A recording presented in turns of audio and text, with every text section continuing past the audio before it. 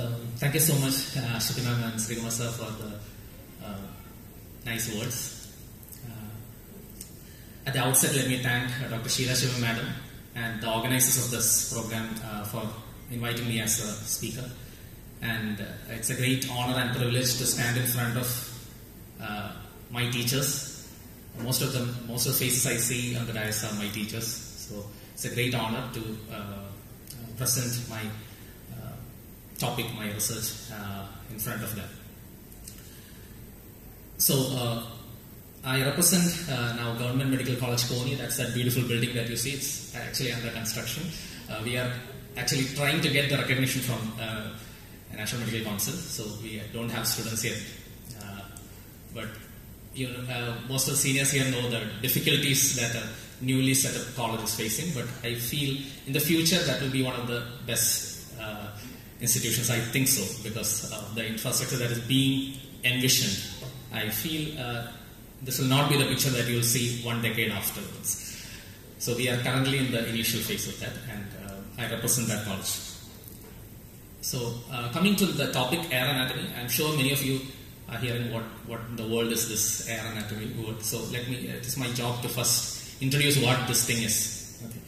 So I'll begin from a real life experience I had uh, while I was teaching. Okay. I, uh, I was evaluating an examination paper, uh, uh, an answer paper, and a student, you know, everyone knows here the importance of this is cavernous sinus, right? Cavernous sinus. It's a very commonly asked short note. And a student wrote an answer. Uh, the, the, the written part was pretty good. Okay, But I would have given him pass mark for that uh, question. But this was the picture that he uh, he drawn, the representative picture, and in that, can you see the mouse pointer? Yes. Uh, you use this? Okay. Uh, everyone knows this is the cavernous sinus. This is pituitary gland. This is sphenoid sinus, and uh, these are the nerves. Okay, the, they are labeled third nerve, fourth nerve, V1, V2, uh, sixth nerve. Okay, and you can see an, an artery here, an artery here, an artery here, an artery here. And uh, that student wrote this as internal carotid artery, and that student wrote this as common carotid artery. Okay, labeled it as common carotid artery. And I, I called that student and I asked him, why, why do you do this? I asked, does, does common carotid artery reach the head? Uh, I, I told him, and then he said, yes, I, am sorry, this is external carotid artery. Okay, so all anatomists know what this is, and uh, and then I understood that he doesn't have a clue what this is, and I told him that this is internal carotid artery and this is also internal carotid artery. Then he is totally confused. How can there be two internal carotid arteries on one side and two internal carotid arteries on the other side? I hope you can understand the, the, the situation. And what I do when I come to this such, such a situation, what I do is, okay, I tell the student to picture uh, that this is a sphenoid sinus. Okay, above that you have the pituitary gland. On both sides of the sphenoid sinus you have the cavernous sinus. Okay. The internal carotid artery will climb up the petrous temporal bone through the carotid canal. It will reach into the cranial fossa. It will go anteriorly. That is the cavernous part that you see below. It goes anteriorly It winds up, it turns back, creating a 180 degree turn. This is, as all anatomists know, this is the carotid siphon. When you take a coronal section, you see two cuts of the internal carotid artery. One cut is in the cavernous sinus, and the next cut is above the cavernous sinus, which we call a supracavernous part, or there are different terminologies for that. But the point is, when I showed this, then he understood that the two, there are actually two sections of the same internal carotid artery. Okay. So what I did now is what I call as, or what our team calls as air anatomy. By the way, Ashwini madam is my collaborator in this study. So uh, this is what we call as air anatomy. So the point is that I'm using a gesture, a hand gesture, right in the air, in front of me and in front of the students that I teach, to create an illust- to create an an imaginary mental model of that three-dimensional spatial structure. The point is that anatomy is spatial, it is three dimensional. The matter that we teach is three dimensional. And there are always limitations when we use a 2D picture. Okay, 2D picture has limitations. It is not that it is wrong. They have limitations in conveying the spatial content. Okay, so the one word that I will be using again and again today will be spatial thinking and spatial content. Okay, spatial content is something that we need to impart. It is doubtful whether we are actually testing spatial spatial anatomy, spatial knowledge that much in the students, but that is ultimately one of the purposes of anatomy. If we need to know uh, anatomy from a surgical perspective, or from a radiological perspective, from a clinical perspective, we need to have a spatial understanding of anatomy. That is very, very important. So that is the point where gesture, gestures, hand gestures can be a tool. So in aeroanatomy, what I use is I use a special type of gesture. I'll come to that, what type of gesture that is. Along with gaze, I used to how I, I looked at the structure. Okay, and I make all my viewers or my students imagine that this is a sphenoid sinus. This is the pituitary gland. On the sides, I have cavernous sinus. It has so many nerves passing through it. An artery that goes like this and turns back. This is just one single example. I showed it because this was an actual experience of mine. But there are hundreds and hundreds of examples where these are clinically relevant, where we need to give a spatial understanding to understand a clinical phenomenon or a radiological view or a surgical aspect, a surgical approach. We need to give a spatial understanding of that. That is the aim of using what we call as air anatomy. So this is a, uh, an article that came in the uh, American Educator. Okay, American Educator. That's a, uh, it's titled as "Picture This." Okay, uh, in this they say that it is very spatial thinking. Is, uh, as I said before, spatial thinking is very very important in an educational perspective. Okay, uh, in this article they say that we give focus. We, we all teach students or uh, we may have kids at our home. We we give importance for language. We try to improve their language. We give tuition or whatever we can to improve their language skills. We give math skills. Maths is also very important. These two are considered to be two important things when we consider a, a scientific, uh, an increase in scientific perspective. But this article says that it is very important to create a mental picture of something. Okay, this article begins from the model of Albert Einstein. It said that Albert Einstein, uh, his account is there, I've highlighted that. He says that words or language as they are written or spoken do not seem to play any role in my mechanism of thought. He said that his, his thought mechanisms are not mainly conveyed through language. He, uh, many of you may know, he actually spoke late in his life. Okay, he spoke late.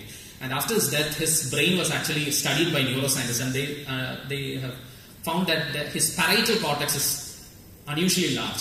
It, that may be one of the causes that he is actually a spatial thinker.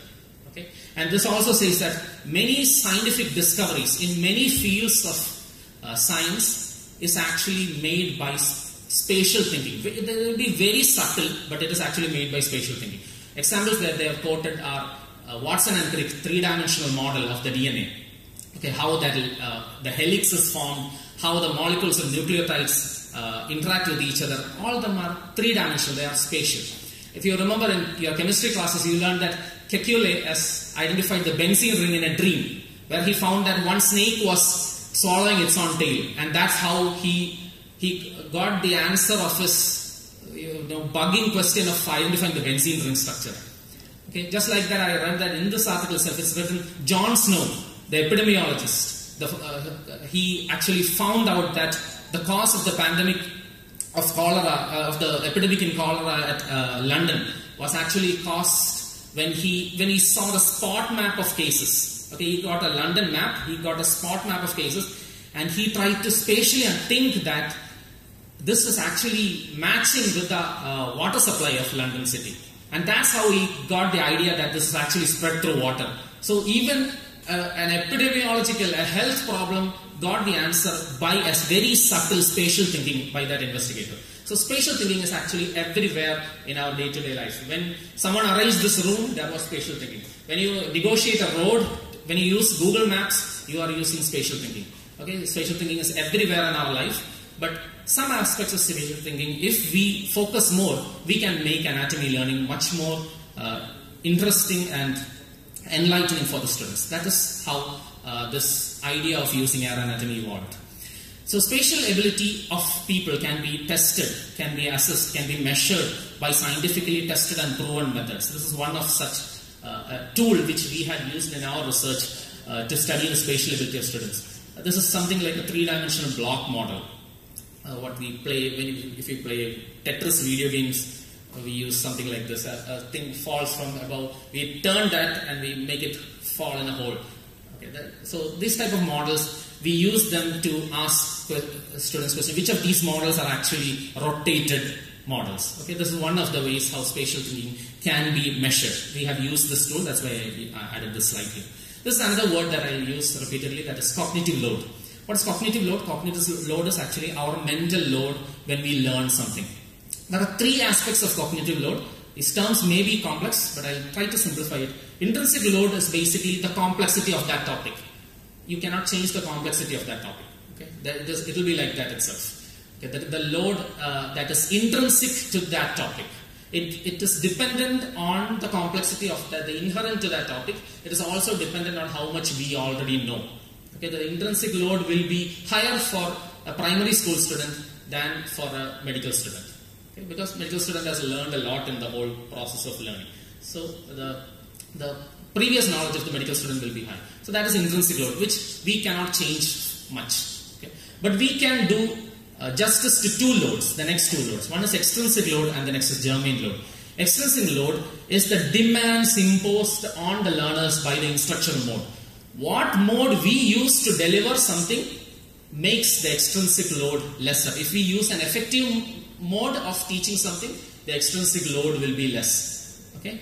And the next is germane load. Germane load is an instruction that help to organize the process of information. So whatever we use for the student to help that student, his, him or her, to process the information better, that will increase the germane load. So an ideal instructional method always keep in your mind if you're a medical educator, an ideal instructional method should decrease the extrinsic load, it should increase the germane load. Okay? So um, these are two variables that we, we explored in, uh, much in our research. Uh, this, is, uh, this slide shows different people and it shows that when people talk, they gesture. Okay, in the first picture you can see the uh, legendary Martin Luther King Jr uh, his speeches and you see how he gestures to give emphasis to what he says. Okay, much of his spirit is actually conveyed through his hands more than his words. Okay, maybe equally through his words and his hands. Next, you can see an orchestra conductor using his baton and his hands to show. He may use use it to show, uh, you know, the loudness or the brightness of a tone or the increase of pitch Okay, uh, as Sir said, I'm also interested in music. I'm a classical trained musician, so I know how uh, hand gestures can be used to convey some aspect of music. Next is you can convey an entire story through your hand gestures. Okay, you know how mime artists use their face and hands to convey something. You know how Kathakali it, it, is, it just means you give the story through the play, Kathakali. So we are from a land where gestures are inherently used even in our art forms. The next uh, two pictures, first is Richard Feynman. Richard Feynman is a theoretical physicist. He's one of the exemplary teachers of physics. You can search him in YouTube and most of his uh, lectures he used a lot of his hands. You can see in this representative picture. The next is uh, Dr. Thomas Naidich. I got the privilege to meet this person at, when I uh, had a training in London. And he is one of the unique radiologists, neuroradiologists who do anatomy, who, who do brain cutting. You should actually see how he he uh, you know simplifies complex radiological issues, radiological patient cases with his understanding of anatomy, how he uses his hands to show. He he literally does everything with his hands in this. Okay, uh, with his hands he can convey a lot of things that even clinical phenomenon and radiological phenomenon. And he's uh, one of the giants in neuroradiology. This is the Dr. Thomas Naidich. So what I've seen on in all this is the use of gestures to convey some content. It can be art, it can be music, it can be something academic. Okay, so there are a lot of things. It can be something social. So everywhere you see people using gestures to convey something. Now, uh, when we classify knowledge, when we come to cognitive science, knowledge is classified into two. One is primary knowledge, and the next is secondary knowledge. Primary, biologically primary knowledge, a gesture is an example for a biologically primary knowledge. And uh, sorry, uh, gesture is an example for a pri- biologically primary knowledge. And uh, biological primary knowledge has these features. It said that it is uh, easily and unconsciously acquired. Okay, they're easily and unconsciously acquired. That is, they're, the, the learners are not consciously understanding that I am understanding this concept due to like uh, due to the gesture. Okay, so that much ease it has. It is intuitive to our make, our biological make. Next is it has intrinsic motivation. When we teach something through a primary uh, knowledge mm, uh, channel. The next is it has it needs limited instruction and working memory limitations are limited. As I said before, cognitive load will be better if we use gestures. These are four type of core speech gestures. Much of this is done by the research by McNeill, and he, he described this in core speech gestures in 1992. There are four core speech gestures. Okay, deictic gesture. Uh, that word is complex. It just means pointing and tracing. Okay, suppose I want to you to show. There are four types of core speech gestures. Okay, my index finger is used to used to guide your attention, the attention of my audience to that heading. Okay, so this is a pointing gesture. Okay, if I want to trace uh, trace the uh, this rope, okay, that, that is all this together, pointing and tracing are together called deictic gestures. That is gesture number one. The next is iconic gestures. Iconic gesture is used to show relationships. It is used to show textures. It is used to show a feature. For example, I can say that this surface is flat. I can say uh, uh, the surface of a sphere is convex Okay? I'm, I'm using my hands and uh, subtly changing its profile to show the convexity. So that is called iconic gesture. I want to say that this mic is superior to my laptop.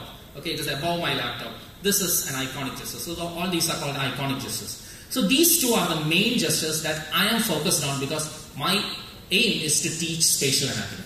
Okay, the other two types are called metaphoric gestures and beat gestures. What are metaphoric gestures? If I say that I want you to I, am thinking something. Okay, when I when I do this, I'm actually bringing a, an abstract thought in my mind. Okay, an abstract thought like I'm thinking to to a picture, to a to a uh, you know physical gesture. That is called metaphoric. It is basically conveying something abstract into a, a solid stuff, a solid vis- uh, viewable phenomenon. That is called a metaphoric gesture. It's not something that I focus on. And the next is beat gesture, which is one of the most common gestures that people use. When I speak, if I move ha- my hands rhythmically, that is called a beat gesture. So those two I will not be focusing, but the first two are the components of what I call as anatomy. This is a, a, a wonderful study done in uh, our own country at uh, Tata Institute of Fundamental Research in Homi Bhabha Center for Science Education. I had got the privilege to interact uh, with uh, Jayashree Ramadas, Professor Jayashree Ramadas. She was a former dean of uh, Homi Bhabha Center. And they're, they're studied on how gestures can be used to teach elementary astronomy to science students. To science students.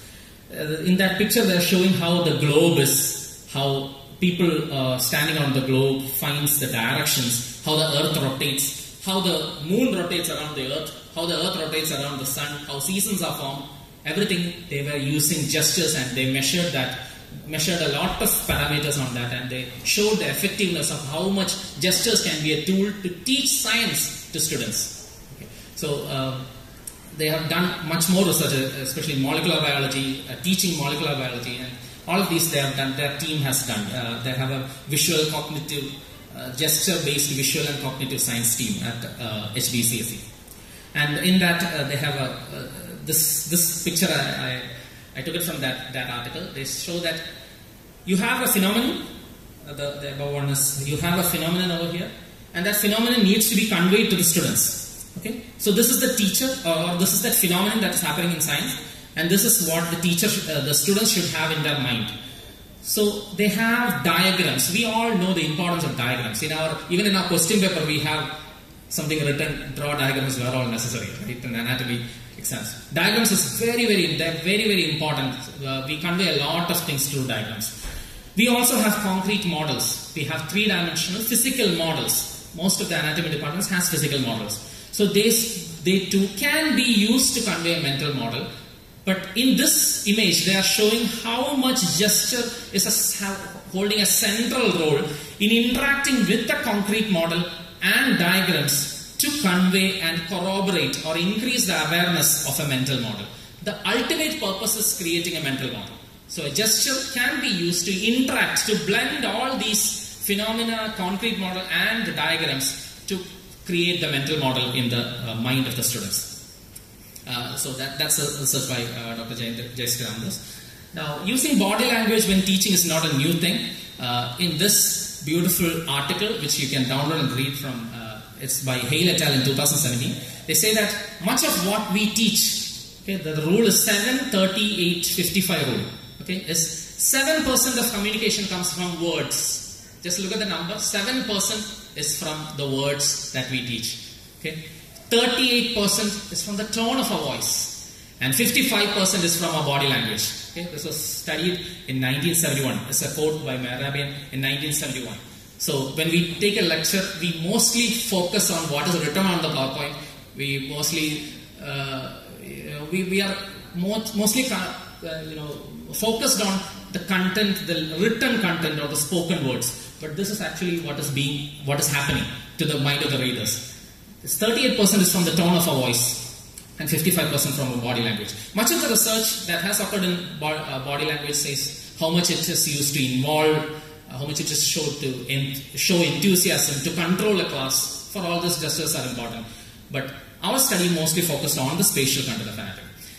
Now, coming to the topic, what we uh, now what we researched, what was our investigation, what was our experiment. These were the hypotheses why gestures are important. We hypothesized that it may be important in visuospatial memory. Through visuospatial memory, it has a role in motor memory. It is a primary knowledge, as I said before, so it should be easy to convey something using uh, air anatomy.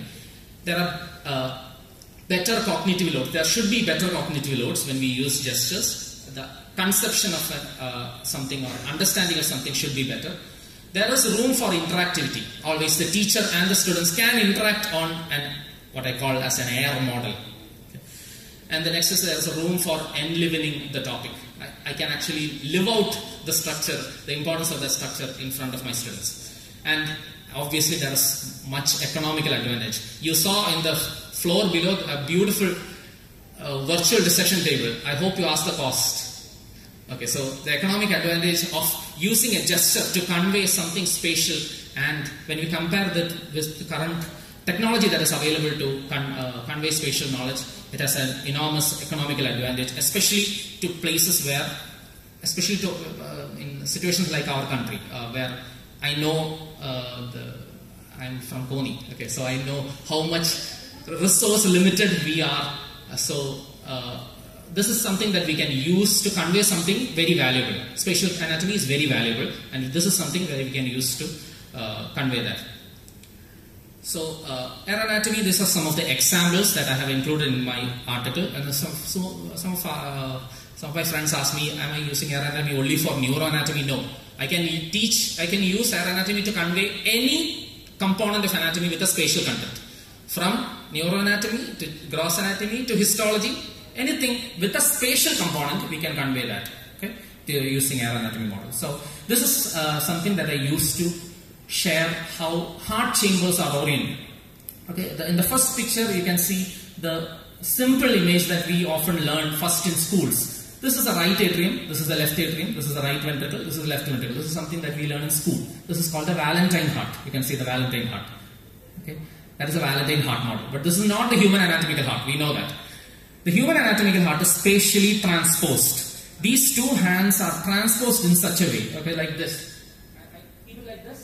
This is the right atrium, this is the left atrium, this is the right ventricle, this is the left ventricle. I transpose it like this. I make my students follow my hands like this, like this, and I hold it like this. This is the orientation of the septa in my body. So I take an echo on my heart. This is the orientation. The ventricular septum is like this. It's almost at 45 degrees with the coronal plane. Okay, the right ventricle is front, making most of the sternocostal surface. The right atrium is creating the right border of the heart. The left ventricle is creating the apex. Atrium is behind, behind which you have the posterior mediastinum. So everything becomes simple by just this gesture. If I want to find a picture that shows this, I have to search a lot, or it may not be always available uh, such easily. So this is the simplicity by which simple solutions can be found for complex problems. Okay. So this is another uh, way how I talk teach thalamus. Okay, the I can show a midline like this. in my body orientation, this is the midline. The two thalami are like two eggs.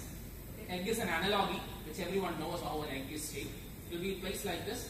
The anterior end will be closer to the midline. The posterior end will be away from the midline, creating a V shape. The two uh, will be creating a V shape. The posterior end will be will be bulged. You can see you can see the second image.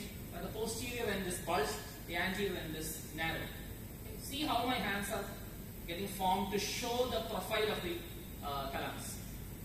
I can I can use the coronal section to show the nuclei. One of the common uh, exam topics is uh, the nuclei of uh, thalamus. I use this to teach the nuclei of.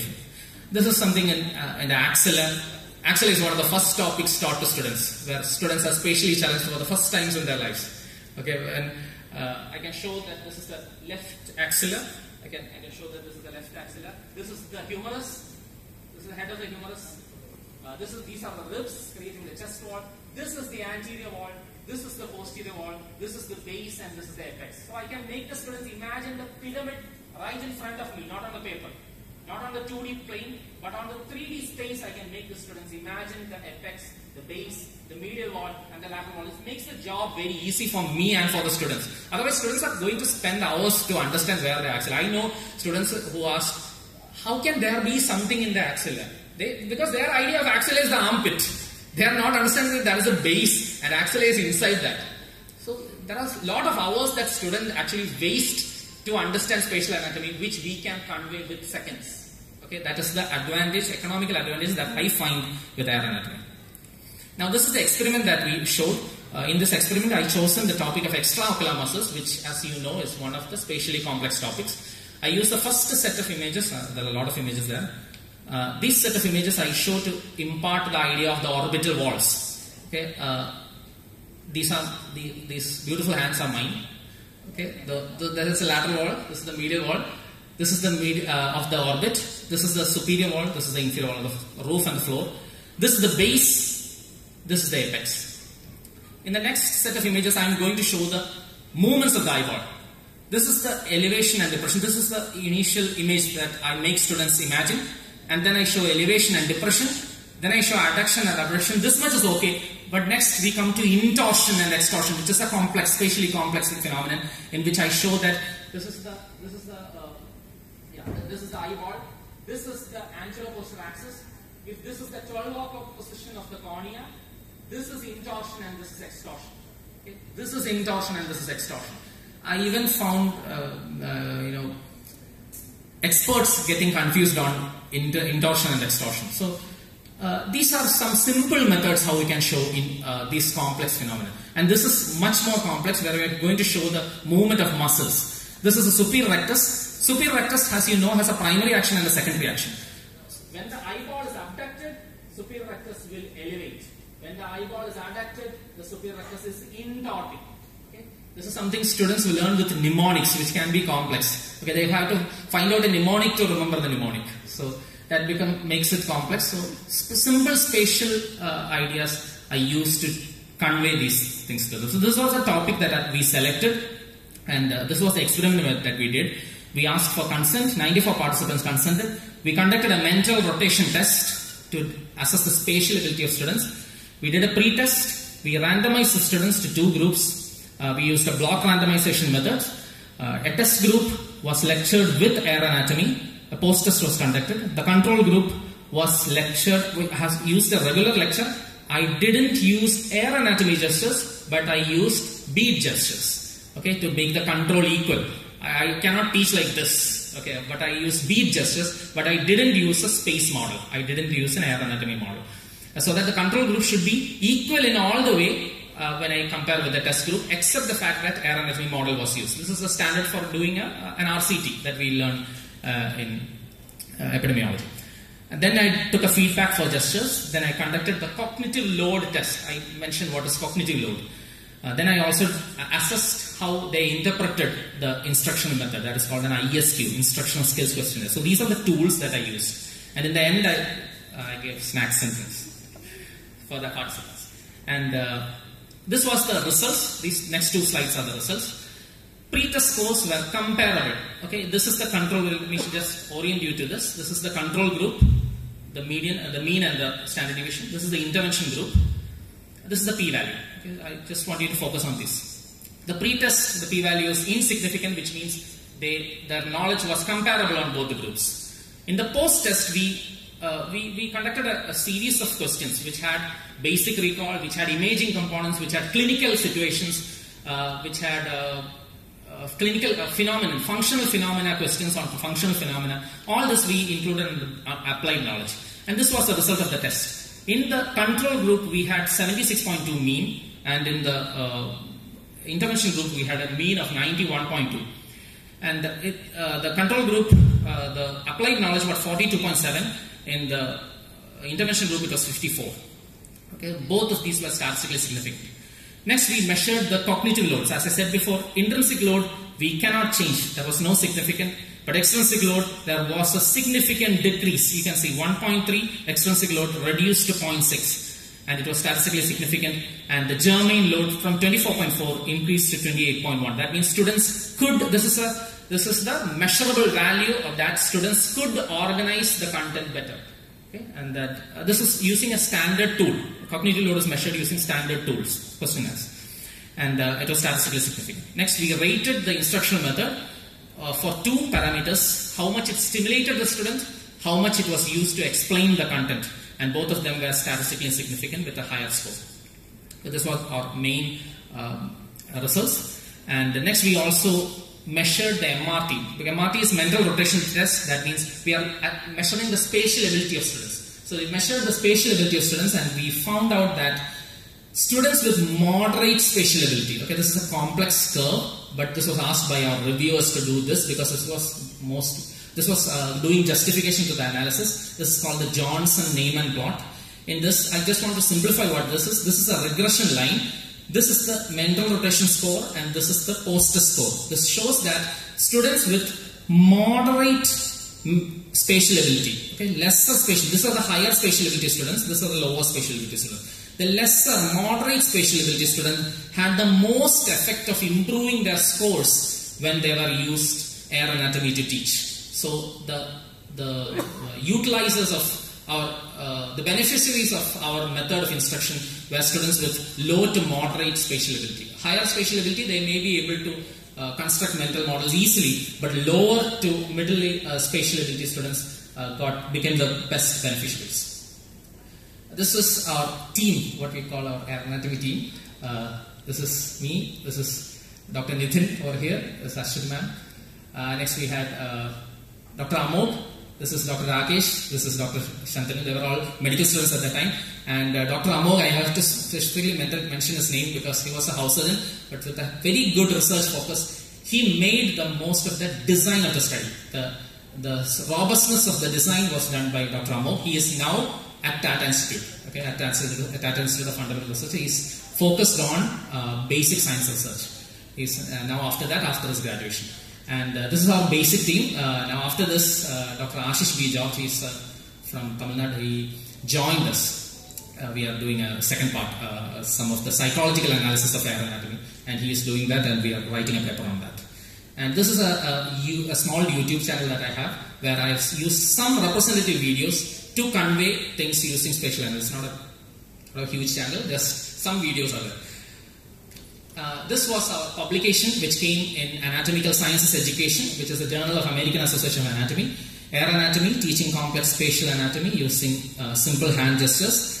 And uh, this was published uh, last year. We got the honor of being featured on the cover page of Anatomical Science Education. Uh, its impact factor is 6.6. It's one of the highest impact factor journals in anatomy education and uh, it is ranked third in scientific discipline education. And uh, thank you, thank you. And uh, I'm really, you know, this is a moment where I'm really proud that the name of my institution could come on the cover page of an international journal, the Department of Anatomy at Government Medical College Trivandrum. So these are the two students, and this is Ashwini ma'am and this So this is not uh, some. Uh, someone have asked me did I invent or discover something? I didn't do anything uh, like discovery or something. What I did was something that we use a lot, but I used it to define something like uh, what as what is air anatomy, what are the specific components of air anatomy which we can use and streamline that to make anatomy teaching as effective, especially spatial anatomy teaching effective. So that is what we did. We just expanded what we know into something that can be utilized better to make spatial anatomy understanding better. So these are some other gesture-based studies which I found very interesting and I have actually interacted with many of them uh, to improve my content. This is Digit Anatomy published by again in ASC by O et al. It's a Korean group. They used digits to convey something with spatial, but the limitation is that you may have to use this to convey things with branches or things which are more linear or this, things which has the formation which we can make with our hands and digits. Okay, so th- they have shown here for the aorta and branches. This is for anterior scalene, the scalene space. Uh, this is the thyrocervical artery, anterior scalene. Okay, uh, this is the inferior thyroid artery, all the branches of thyrocervical trunk. So, but the limitation is that you only have a few structures that can be shown with this. But this is something very interesting that they, they did. Now, this is a wonderful uh, article by Chan, Lap Ki Chan, Chinese uh, faculty. Uh, he used a low-tech method and combined it with gestures to show gut rotation. Okay, you can see how a simple foregut, uh, midgut, uh, hindgut model, and he used that to create the physiological umbilical hernia. Can you see that? This is the physiological umbilical hernia, which we had used the uh, the gut is now herniating outwards, and then when it goes back, you can see how the transverse colon is in front of the foregut part. So all this you, you can combine gestures with low-tech models. Now, this is a uh, study that came in uh, Frontiers in Psychology. Uh, this is by Cherdieu et al.